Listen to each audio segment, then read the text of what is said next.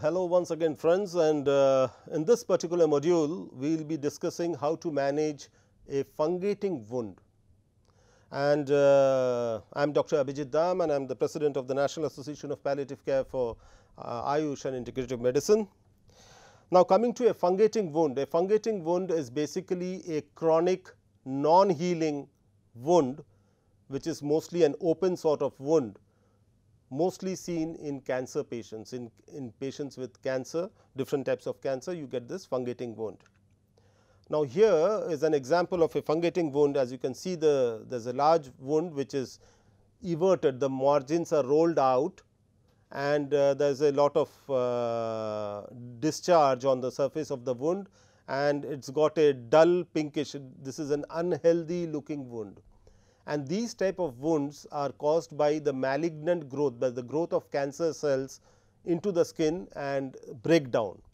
Now, what basically happens is that the cancer cells compared to the normal cells they keep on replicating at a much faster rate than the normal cells. Now, what happens uh, during the normal cell growth normally when our cells grow the blood vessels also keep pace with the growth of the cells. So, it is a balanced growth, but cancer is a revolt. So, cancer cells they keep on growing so fast that the normal growth of blood vessels fails to keep up pace with the growth of the cells. So, the cells grow at a faster rate and then they because of lack of blood supply they keep breaking up and this breakdown of the cells creates the uh, wound or the ulcer which we call it and this is called a fungating growth. So, uh, this is what I had explained and this fungating growth because there is a repeated and continuous breakdown of cells, there is a lot of malodor and there is a secondary infection out there and uh, when there is a secondary secondary infection that would be uh, you know chances that the patient would be infected that would be sepsis and uh, the pain can increase and so on and so forth. So, here uh, the same wound and uh, you can see uh, we have applied certain medications to the wound and the size of the wound has gone down by almost 10 to 15 percent because the wound earlier as I showed you was an infected wound and once you start cleaning the wound in a proper way, dressing the wound in a proper way, the pain goes down, the inflammation goes down, the bad odor, the mal malodor goes down you know so many things would go down and it helps in improving the quality of life of the patient. So, that is very important focusing on the quality of life of the patient because that is the essence of palliative care not only for the patient, but also for the caregivers. Because for the caregivers you know watching uh, that malignant wound on the patient on their loved ones is very distressing. And cleaning that wound uh, every day takes time. It takes almost an hour so, the dimensions to be considered while treating a malignant wound are is a holistic dimension. You need to not only focus on the physical aspect, physically there is the wound, but every time the patient gets up in the morning and looks in the mirror, he sees the wound and that reminds him of his cancer and that reminds him that uh, oh, within a few more days I will be dead. So, there is a it is a psychological pain also and it becomes a social stigma because with that wound uh, nobody wants to meet him. He becomes a social outcast. He is not allowed to go to religious places, he is not uh, allowed to uh, you know participate in social uh, rituals and other activities and so on and so forth.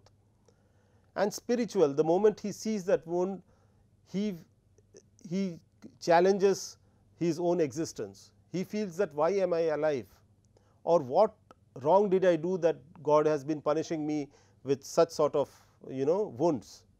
So, you need to consider the patient on a holistic basis rather than just focusing on the wound. The wound is just a part of the patient and the patient is a human being. So, focus on the human being. The best way to do it is put yourself in the foot in the boots of the patient. Imagine that what you would feel through, what you would feel or go through if you were in the patient's place and then you will find the answers coming to you right. This is not exactly rocket science that you need to study so hard and this.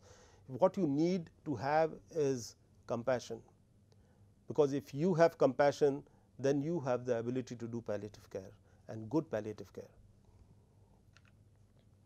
So, the physical problems in a malignant wound such as this could be pain, malodor, infection, bleeding, exudates and infestation with maggots which is horrible. You know what maggots are basically? Basically house flies. Once those house flies they, they sit on the malignant wound and then they lay eggs and the eggs hatch into larvae and those small larvae they start feeding on the dead tissue of the wound and they start burying uh, burrowing within and then there is a lot of bad smell coming out.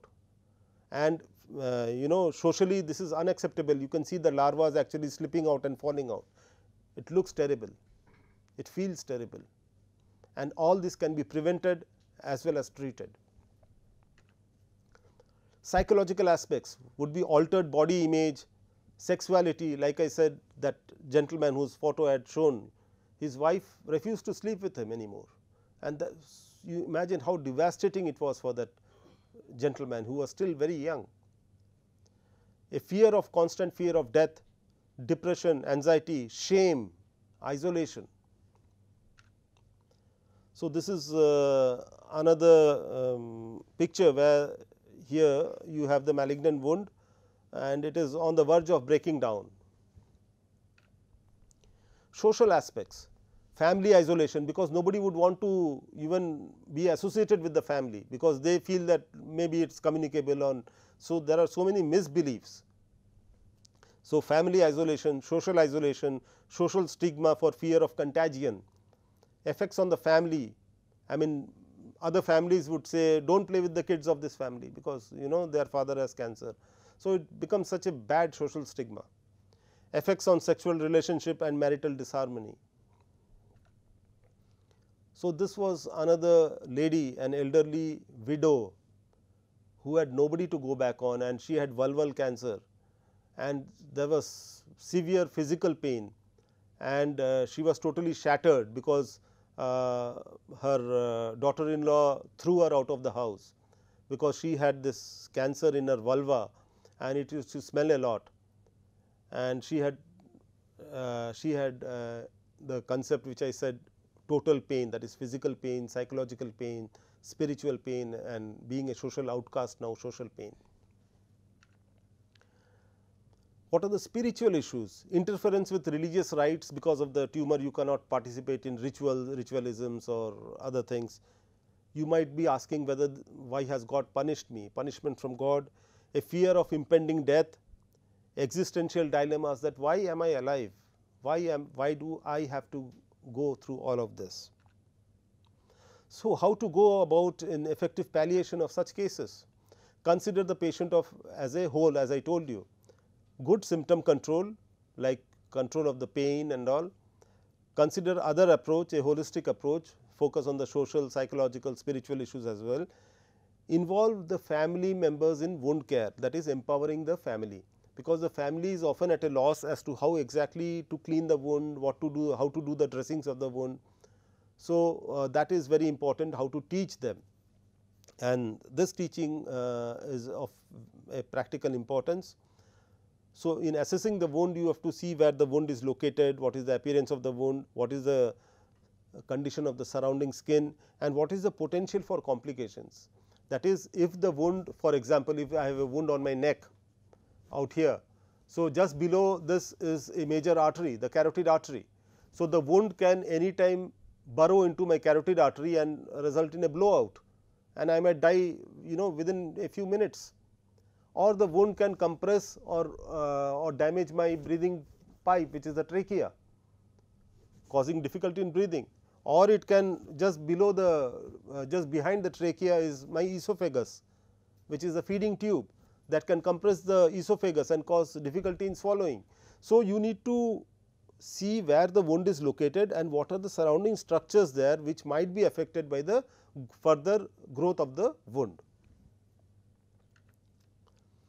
So, practical issues in managing such a malignant wound is to first of all ensure pain relief. Before you do dressings for say patient, please give an extra dose of analgesics half an hour before. Suppose you want to do a dressing at 7.30, give an extra dose of say paracetamol or tramadol to the patient at 7 o'clock. Ask the patient to, to take a good bath before the dressing. Why before the dressing? Once you take a bath, most of the uh, you know dirt and uh, other exudates are removed, uh, so that you have less of a uh, job to do during dressing. Clean and irrigate the wound with normal saline. You can make normal saline at home, right. In 1 liter of water, if you can add a small spoon of salt and then put, put that water in a pressure cooker and uh, you know uh, let it whistle once or twice and then cool it and use it that is normal saline.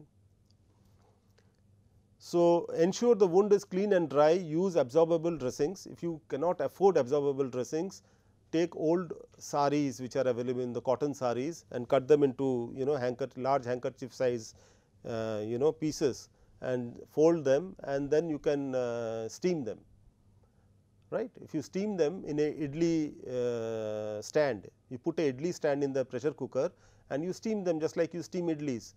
So, those are now sterile uh, and you can use them for cleaning the wounds. Give attention to the surrounding areas, just just do not focus on the wound, give attention to the areas of the surrounding areas of the skin.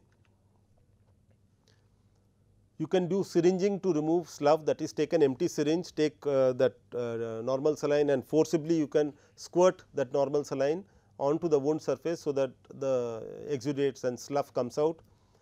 Apply uh, adequate antibiotics if necessary and secure with bandaging and adhesive tapes.